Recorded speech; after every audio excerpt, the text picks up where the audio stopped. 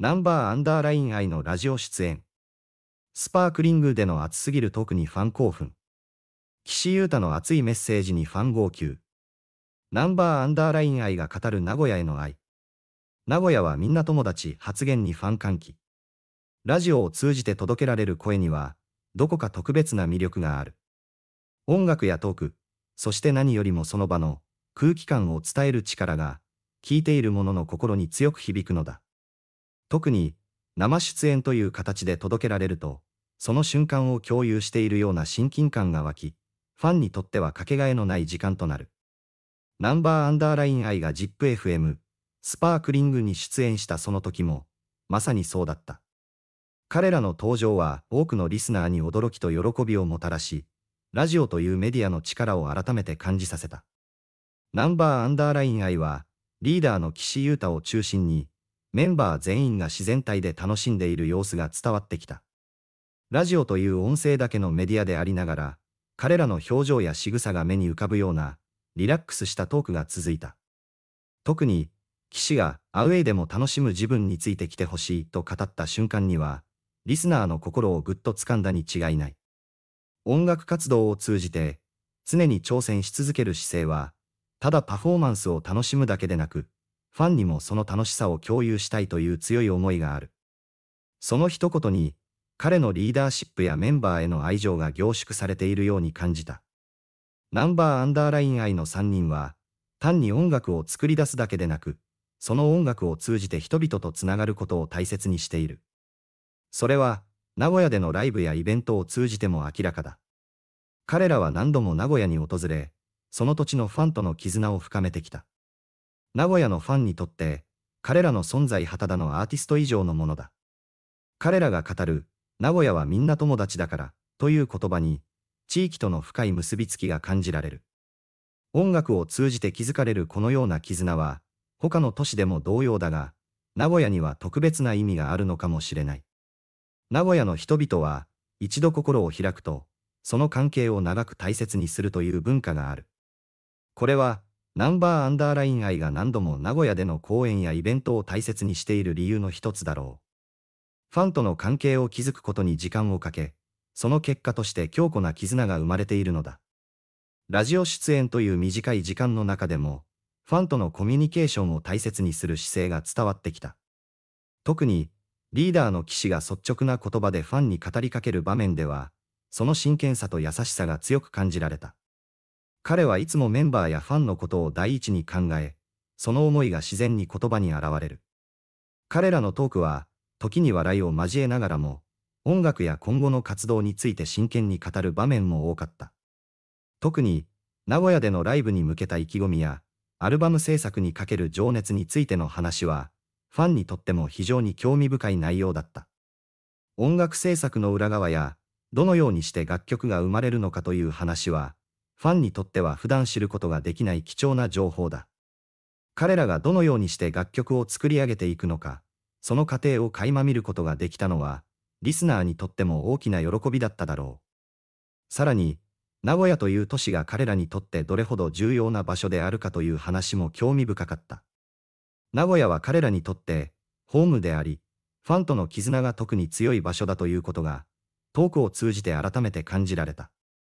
名古屋での思い出や、そこで出会ったファンとのエピソードを語る場面では、リスナーも共感しながら聞いていただろう。特に、騎士が語った、まず自分たちが楽しむから、ついてきてほしいという言葉は、彼らの音楽に対するスタンスを象徴している。音楽活動は時に困難や挑戦を伴うが、彼らは常に楽しむことを忘れず、その姿勢がファンにも伝わる。彼らのパフォーマンスを見ていると、その楽しさが自然と伝わってくるのだ。ラジオ出演後、SNS ではファンからの感謝の声や、彼らのパフォーマンスへの期待感が次々と投稿された。特に、ラジオでは顔を見ることができないため、番組終了後に投稿された写真には、多くのファンが喜びを爆発させた。普段見られない彼らの一面を垣間見ることができ、ファンにとっては大きなサプライズとなった。ラジオというメディアは、音楽やトークを通じてファンとの距離を縮める力がある。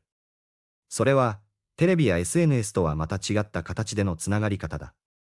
音声だけで届けられる情報は、想像力を刺激し、リスナーに深い感動を与えることができる。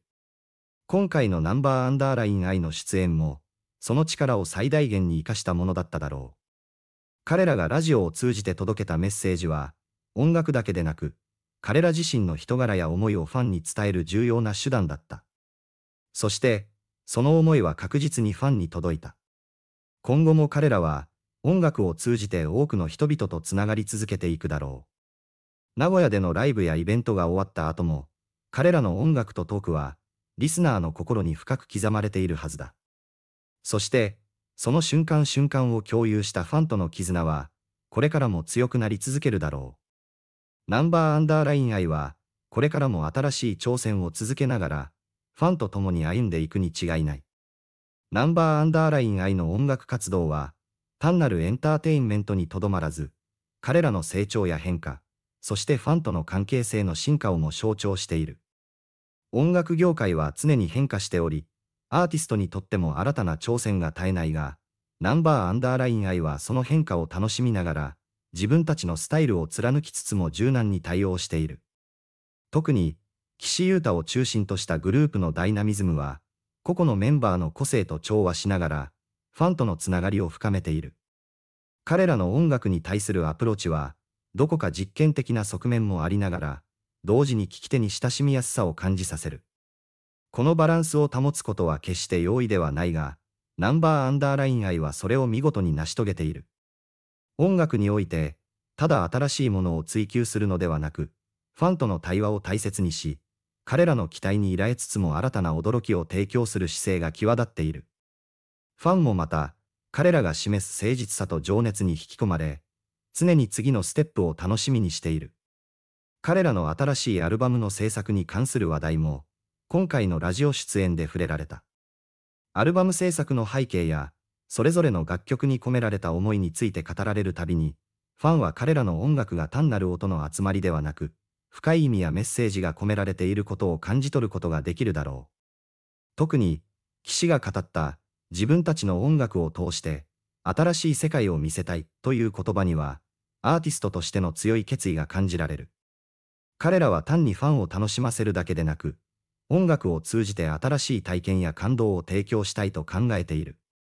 また、ラジオで語られた内容からも明らかなように、ナンバーアンダーライン愛にとってファンとの交流は何よりも大切なものだ。彼らがどれだけ忙しくても、ファンとの時間を大切にし、ライブやイベントを通じて直接交流することを常に心がけている。そのため、名古屋でのライブは彼らにとっても特別なものとなる。名古屋のファンとの強い絆は、彼らが何度もこの地を訪れるたびに育まれてきたものであり、その絆がライブパフォーマンスに反映されている。さらに、今回のラジオ出演後、ファンからのフィードバックが SNS を通じて寄せられたことも、彼らにとって大きな励みとなったに違いない。ラジオというメディアの力を借りて、彼らはファンに直接語りかけることができ、SNS を通じてその反響をリアルタイムで感じることができる。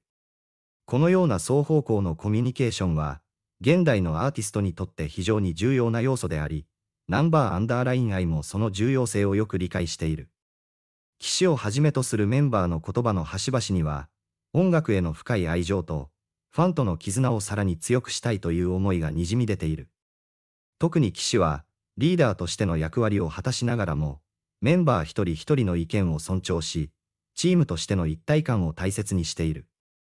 その姿勢は、ファンにとっても非常に共感できるものであり、彼らのパフォーマンスを見るたびに、その結束力が感じられる。これからも彼らは、音楽活動を通じて新たな挑戦を続けるだろうが、その根底には常にファンとの絆があることは間違いない。ナンバーアンダーライン愛の活動は、彼ら自身が成長するだけでなく、ファンとの関係性を深めることで新たなステージへと進んでいく。音楽業界での彼らの成功は、単にヒット曲を生み出すことだけではなく、ファンとの信頼関係を築き、それを基盤に新しい音楽や表現を追求し続けることにある。彼らが今後どのような音楽を作り出し、どのような形でファンとの関係を発展させていくのか、その未来は非常に楽しみである。特に、ラジオ出演を通じて明らかになったように、彼らはただパフォーマンスを提供するだけでなく、リスナーとのコミュニケーションを大切にし、その瞬間を共有することに価値を見出している。音楽を聴くだけでなく、彼らの声や思いを直接感じることができるラジオは、ファンにとっても特別なものだ。その特別な瞬間がこれからも続き、さらに多くの人々がナンバーアンダーライン愛の音楽とその魅力に引き込まれていくことだろう。最後に、ナンバーアンダーライン愛がこれからどのような未来を描いていくのかは、彼ら自身の創造性とファンのサポートにかかっている。彼らが一貫して示してきた音楽に対する情熱と、ファンとの強い絆は、これからも彼らを支える大きな力となるだろう。そして、その未来は、ラジオで語られた言葉や、これまでの活動を通じて明らかにされたビジョンによって、ますます輝かしいものになるはずだ。ファンもまた、その歩みを共にしながら、彼らと一緒に新しい音楽の旅を楽しんでいくことだろう。